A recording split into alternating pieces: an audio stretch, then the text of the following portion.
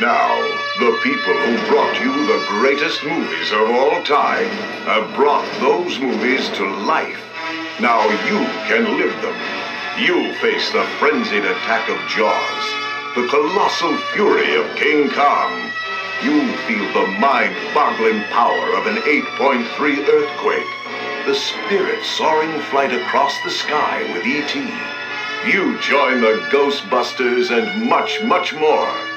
Now you play a part in all the glamour, spectacle, and adventure of a real working motion picture and television studio. This is no theme park. It's Universal Studios Florida. It's open now in Orlando, and it's the only place on earth where you can see the stars and ride the movies.